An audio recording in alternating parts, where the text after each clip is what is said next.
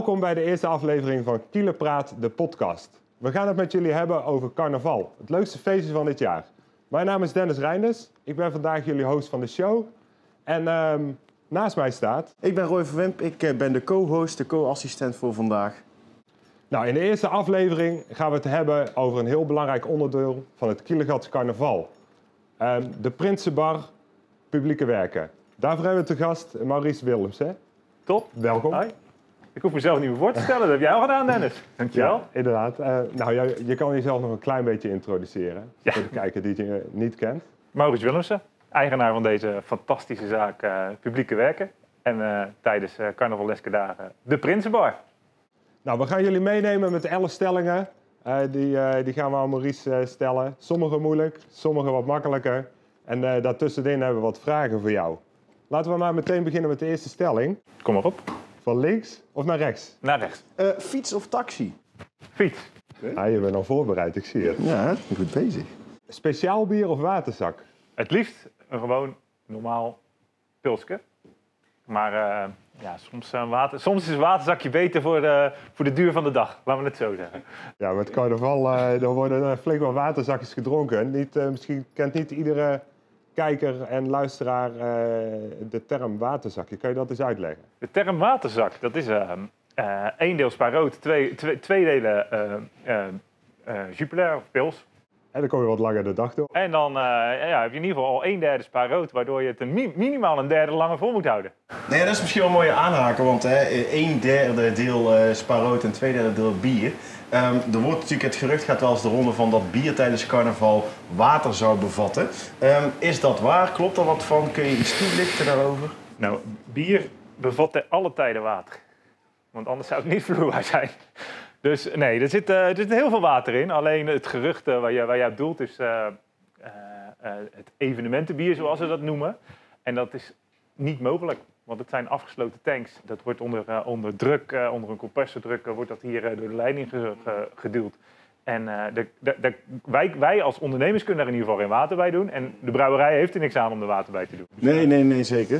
Dat zou Ehm, het kwaliteit ook eh, sterk afdoen van het bier natuurlijk. Nee, dus dat is echt de grootste fabel die je heel vaak hoort, ook op evenementen in de stad. Maar eh, nee, het is echt eh, niet mogelijk. Ja, nou, er, wordt hier eh, best wel wat eh, gegeten en gedronken met carnaval. Dus eh, we zijn ook wel benieuwd naar een paar getalletjes. Hè, van, ja, hoeveel liter bier gaat er nou doorheen met zo'n carnaval? En ja, hoeveel poffertjes worden er gegeten met carnaval? Hoeveel liter bier er doorheen gaat, dat, dat ligt eraan hoe dorstig jullie zijn. Ehm, eh, hoeveel liter bier er echt doorheen gaat, dat, dat ja, kan ik zo plat niet zeggen. Maar misschien wel een leuke anekdote daarover. Eh, op de zaterdagmorgen van carnaval komt er hier 's ochtends om 6 uur stopt er een tankwagen voor de deur en die vult 2000 liter af. En deze tankwagen die moet eh, s'avonds rond de klok van 6 nog een keer komen om weer af te vullen, anders redden we het niet. Dus dat geeft misschien wel een beetje aan over de hoeveelheid bier eh, die, die er geschonken wordt tijdens carnaval. En leuk over die poffertjes, want op zondag hebben we natuurlijk wat brakke middag. En dan geven wij voor de brakken van het Kielergat eh poffertjes weg. En ja, dat zijn er eh, 1600 stuks. En ik, eh, ja, ik zeg niet hoeveel er in een potje zitten, maar eh, ja, die geven we dan weg aan, eh, aan de kleinste van de Kielergat, de brakken. En eh, dat is altijd een hele gezellige middag met, eh, waar je echt moet uitkijken dat je niet eh, voor de voeten wordt gelopen door, eh, door van die kleine aap. Ja, voor eh, de brakken, onze toekomst, hè, die, eh, die wil je natuurlijk ook eh, een warm carnavalshart meegeven. De jeugd heeft de toekomst. Ja, Nou zien we natuurlijk, eigenlijk al ons voor. Hè. Dat is misschien, eh, misschien de vraagstelling niet helemaal juist. Maar eh, hebben jullie tijdens carnaval, en dan bedoel ik echt op carnaval, speciaal bier? Ja, we hebben nog een aantal kranen waar wij nog speciaal bier op zetten. En eh, en wordt daar veel verkocht dan? Nou, je hebt daar wel liefhebbers die daarvoor komen, die, eh, die eh, zeggen van doe mij maar een, een duveltje. Of, eh, eh, ik heb er vorig jaar een gehad, eh, of twee jaar geleden is dat inmiddels al een. Die, eh, ja, die kwam hier, eh, hebben jullie eh, heb je donkerbier? Ik zei, ja, ik heb nog wat eh, Grand Prestige. ja, 10% alcohol. En die eh, dronk lekker Grand Prestige uit plastic. Maar eh, zijn carnaval was compleet. En wie ben ik dan om zijn carnaval niet compleet te maken? Ja, volgens mij houden dat soort mensen het een derde korter. eh, Mm, Ja, ja minimaal de helft korter. Als Ja. we dan even terug moeten komen op die, op die, op die stelling van speciaal bier of waterzakje. Grand Prestige of waterzakje is dan, dan misschien ook wel een goede voor twee uitersten daarvoor. Ja, Ja, nou, ik houd bij het waterzakje dan eh, tijdens carnaval. We hebben het over speciaal bier. Ehm, er is dus ook te oren gekomen dat er een heel speciaal eh, bier onderweg is voor 11 jaar Prinsenbar. Kan je daar eens wat meer over vertellen? Ja, wij ehm, PW dit jaar 11 jaar Prinsenbar. En ehm, hoe het eruit eh, komt te zien weten we nog niet. Maar we hadden wel zoiets in het voorseizoen dat we iets, iets moesten doen wat, wat uniek was, wat, wat nieuw was. En eh, ben, we zijn met een aantal mensen gaan zitten en eh, gaan nadenken. En eh, daarop hebben wij een heel mooi collectors item gemaakt. En ik kan hem jullie tonen met, met een hele mooie omverpakking. Met de Deja doen we dubbel en PW Prinsenbar met een eh 11-jarig logo. De vier prinsen die hier een residentie hebben gehouden ehm, staan op de achterkant.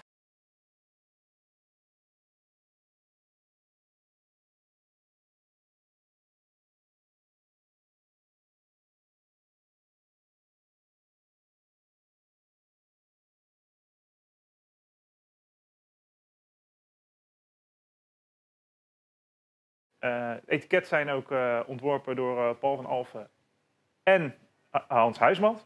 Onze bekende eh buschauffeur van het Kielergat en eh, onze PNP eh, PNP-man, ja. aanwezig. Ja. Ehm, wij hebben dit gebrouwen in, ehm, eh, in, eh, in Rotterdam.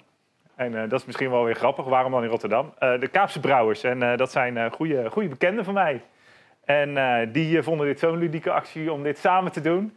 Eh, dat, ik, eh, dat wij voor hun hebben gekozen. Want uiteindelijk eh, gaat de, de opbrengst die wij hier- hiermee verkrijgen... gaat naar goede carnavaleske doelen.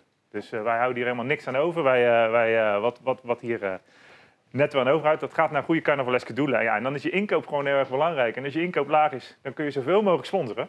Dus vandaar dat wij gekozen hebben voor een, voor een Rotterdamse brouwer. En zijn ze ook in de categorie van Grand Prestige of zijn ze ook weer wat meer richting de pils en de... Het zijn eh, vooral, eh, nou ja, de, de hoppige hoogheid zegt het al. Dat zal een, eh, Het zal een IPA'tje zijn. nou, heel goed, heel goed, goed gedaan. En eh, het schuimend gevolg, ja, die gaat wel naar de 6,1 procent. En eh, de, de zotte nar 6,5 procent. Dus ze zijn wel... eh, Nou, mooie, mooie, mooie getal. En het zijn mooie bieren. En ook alweer met dezelfde commissie geproefd.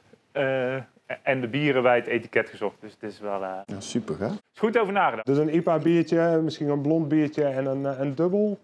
Ga dit zelf ervaren, Dennis. Ga dit zelf ervaren. Als ik alles ga weggeven, dan hoef je, het, eh, hoef je niet meer te ook nog kopen. meteen een goede doel. Ja, ik ben gewoon reuze benieuwd, dus eh, Ja. vandaar. Het pakketje kost 11,11 euro.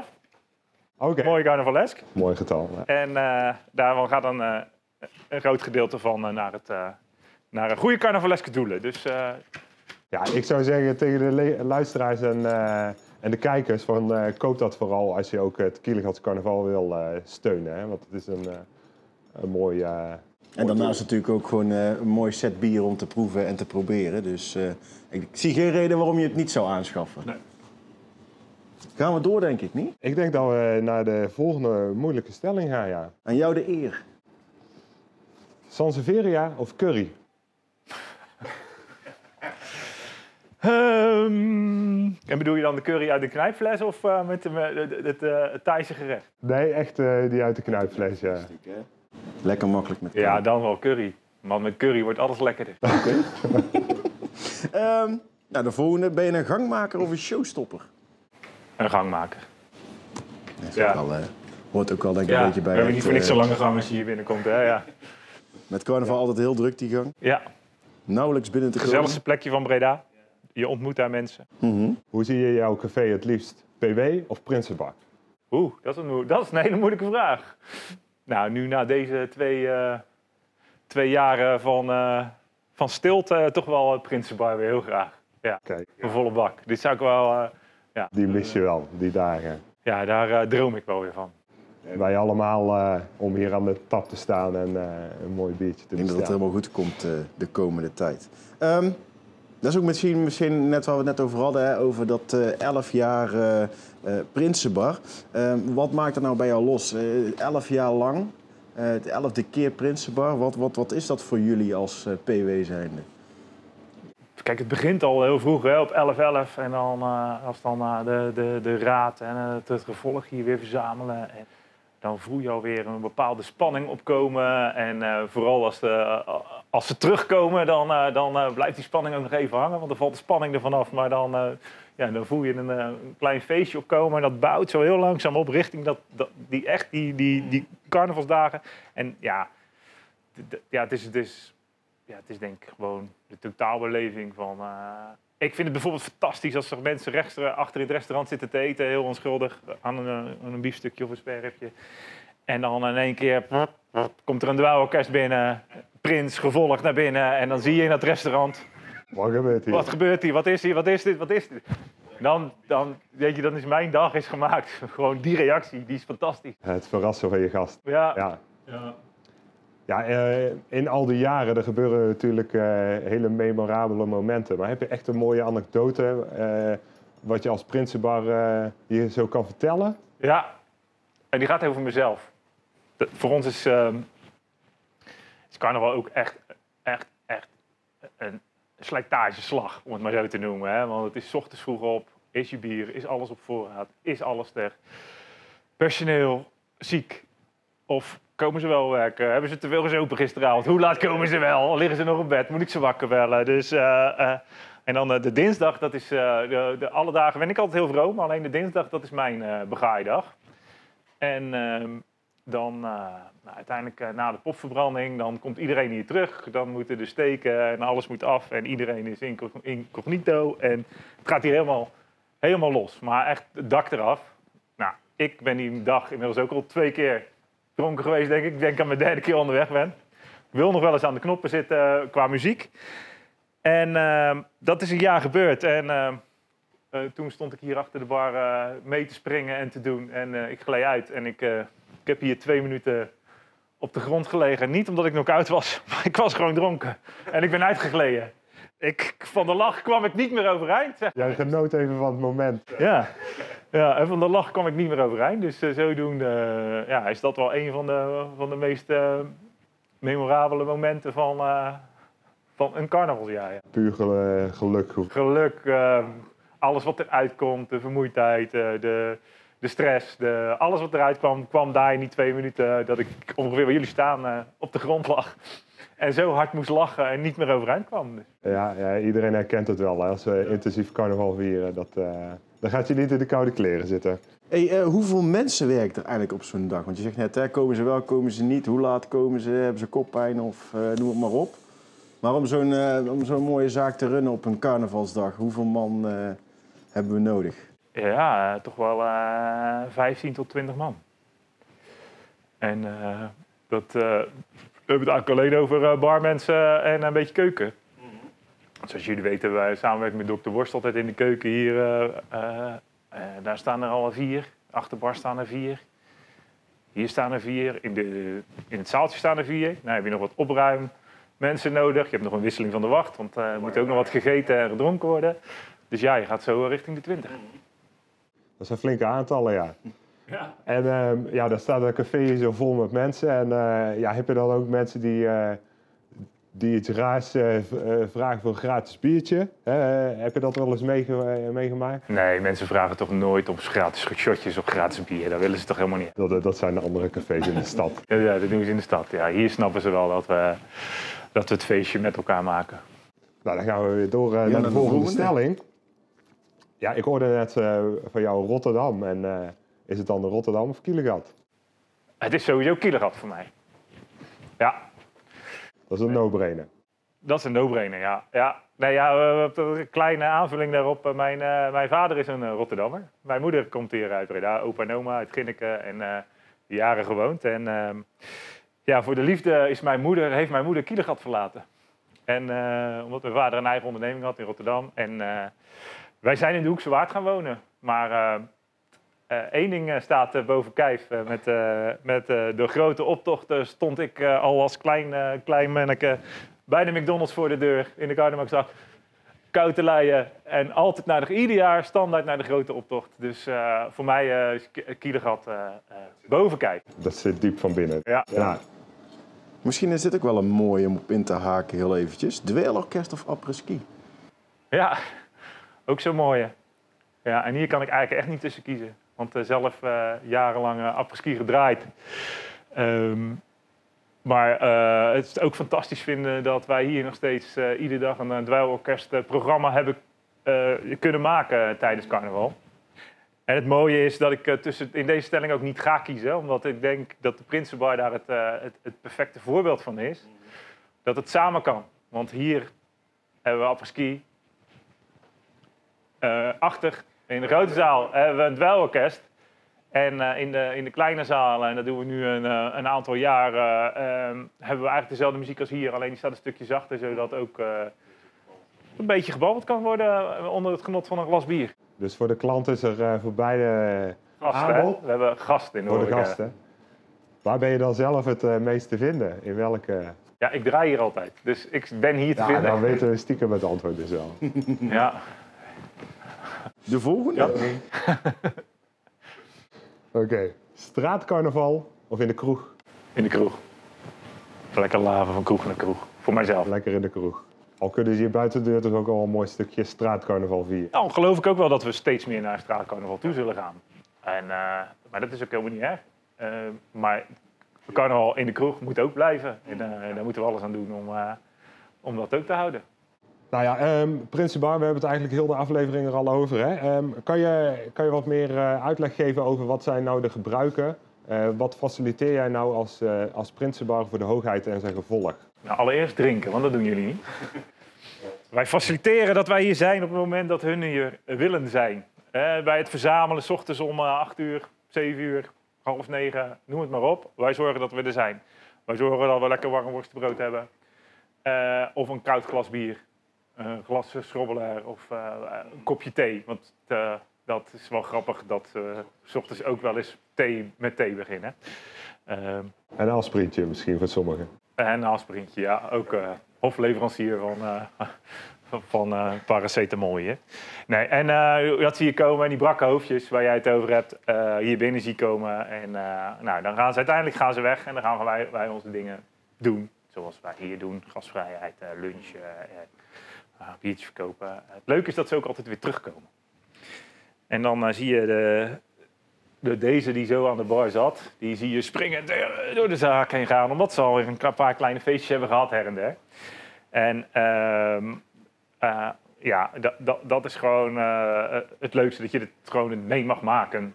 Eh, waardoor je ook gewoon een hele echte band met iedereen krijgt. En, eh, en zelf ook wel eens als raadslid meegaat om hun dag ook eens mee te beleven. Ja, en eh, ja, dat, dat, dat leidt eigenlijk eh, door het, door vanaf 11-11 naar het, eh, naar het, door het seizoen heen totdat we die beruchte dinsdagavond waar we het net over hebben gehad, eh, dat alle remmen los mogen en dat er eigenlijk woensdagochtend niet zoveel hoeft. En dat het ook echt losgaat, ja, dat is dan het hoogtepunt, zullen we maar zeggen. En dan, eh, ja, dan zit het er weer op. Dan wordt het heel erg stil Ja. daarna. Ja, dan wordt het weer even stil. de heimwee en, en, en, en de nagalm. Ehm, dat is misschien ook wel een mooie, hè, als we het dan hebben over, over in de breedste zin van het woord. Eh, publieke werken, Prinsenbar, dat is voor een Kielegat er denk ik één.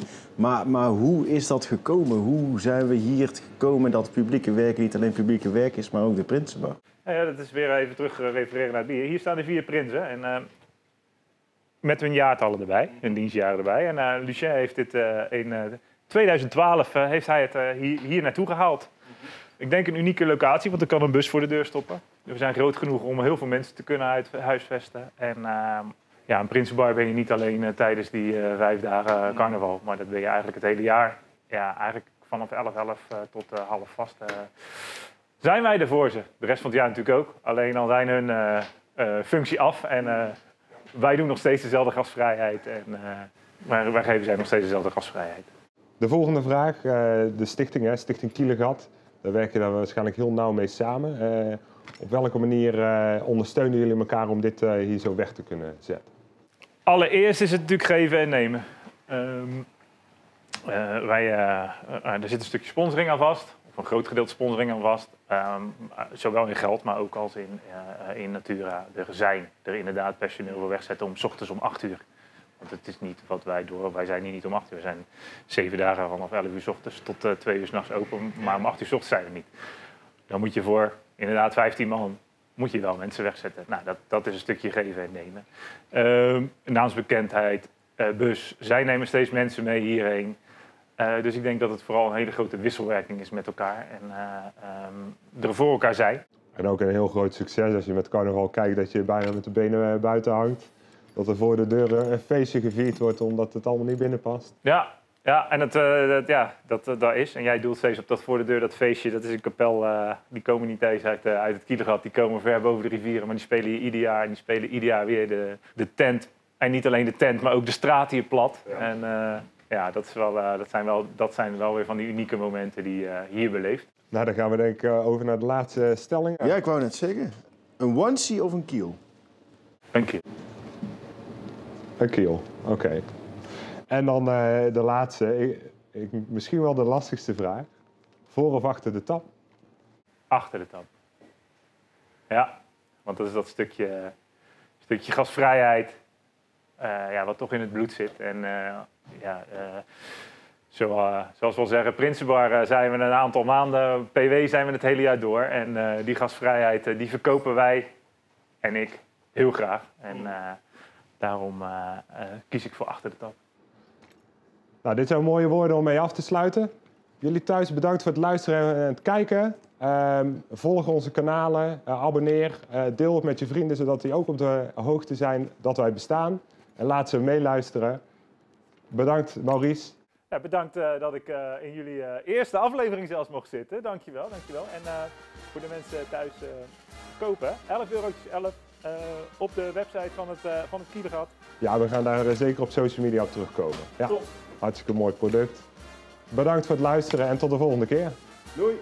Hoi! Houdoe.